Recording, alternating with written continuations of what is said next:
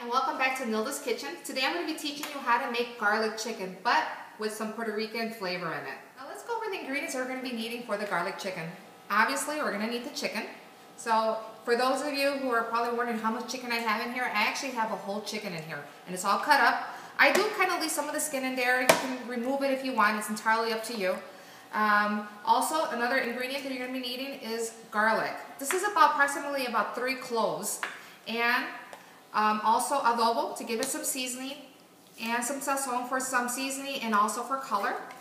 And we're going to be using extra virgin olive oil for this. So now that I have my chicken all cut up, uh, I left some of the skin in the chicken as you can see. You can remove it as if you, you know, it's entirely up to you.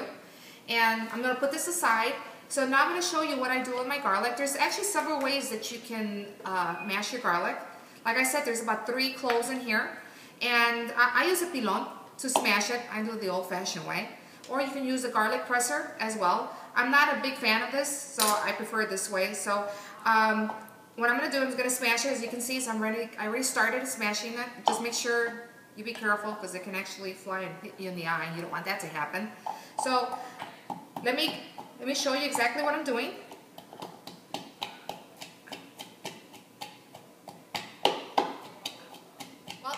Smashing my garlic. It took me approximately about five minutes, I'd say.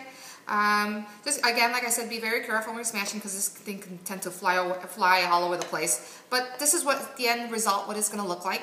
So what I'm going to do is just going to put this aside and I'm going to start seasoning my chicken with adobo. And again, remember, you're going to season to your tasting. You know, you don't want to put too much seasoning in because you don't want it to taste too salty.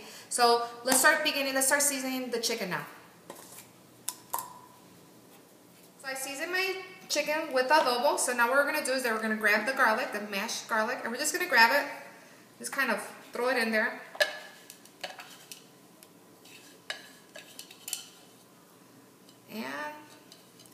And we're just going to mix it around. Make sure you grab every single chicken with garlic in there. Again, this is very easy to make.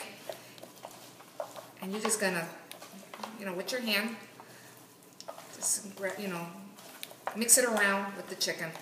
All right, so now that I've mixed the garlic in the chicken, what I'm going to do is going to put some sazon in there. Again, this is to give it some flavor, but also to give it coloring. And in this case, I'm going to be using two. You can use more if you want. It's entirely up to you. And what I'm going to do is going to mix it again. Make sure every chicken is colored with the sazon. Now that we have our chicken already seasoned with the adobo, with the garlic, and with sazon, now what we're going to do is that we're going to preheat our pan. And this is approximately about a 3 inch deep pan. So let's go ahead, turn on that, that stove. In regards to the olive oil, it actually varies from pan to pan. So again, you don't want to put too much oil in there because the chicken's going to throw on its own oils as well. So now that it's been, the, the oil has been heated up, what we're going to do is that we're going to transfer the chicken into the pan.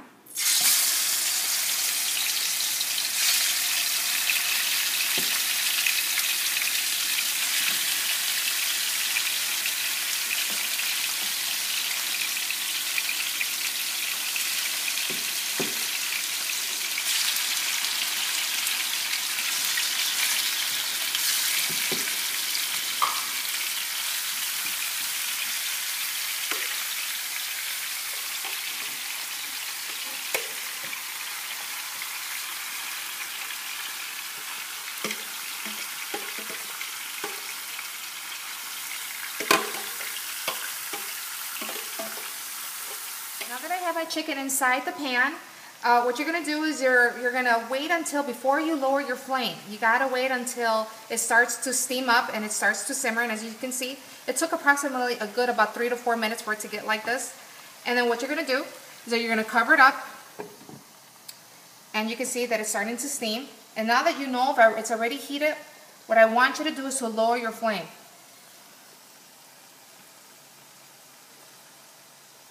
And that should do it. And then what we'll do is that it takes approximately about 45 minutes to cook. So what I'll do, I'll be back about 20 minutes to check up on it. If I need to turn it, I'll turn it. But we'll be back at 20 minutes and uh, I'll give you an idea what it starts to look like in 20 minutes. It's been approximately about 20 minutes. And your chicken should start looking like this. I'm not going to turn it right now, but if you feel that it's not steaming properly, what you might may want to do is raise your temperature. So again, you want to take a look.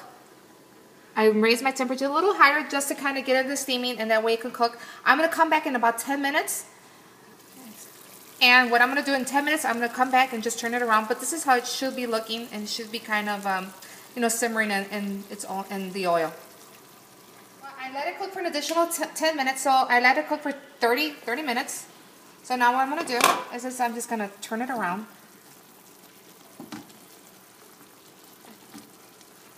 Can already smell the garlic.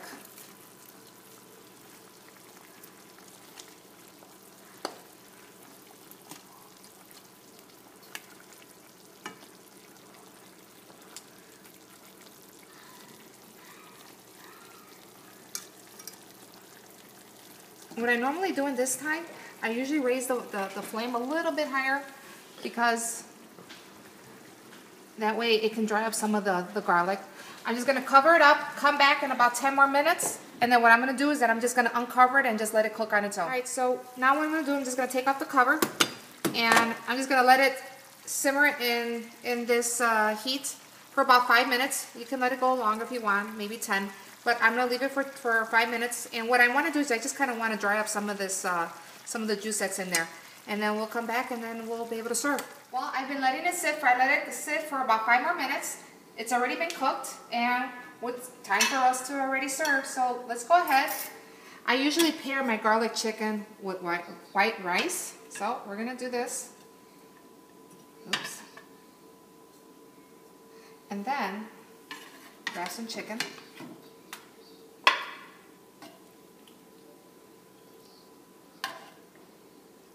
What I love to do is grab some of the juice and pour it on top of your rice.